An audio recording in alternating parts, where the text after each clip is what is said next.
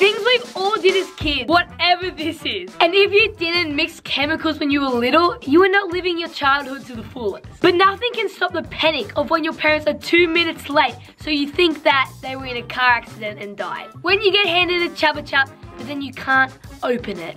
That is real pain. You know when you're just lying down in your bed at night when the thought of your parents dying crosses your mind and you just start bawling your eyes out? Or trying so hard to level out the light switch, even spinning the apple like this. Only the true fearless kids would lean back in their chairs. Or close the fridge really slowly to see the lights turn off. Some days when I was feeling devious, I would stab my eraser. Kids nowadays just play their iPads in the car, but when I was little, I watched raindrops race on the window. I always did this. Sometimes I still do. And a few times I would just pretend to be dead in our pool to see if anyone cared. And, and no one did.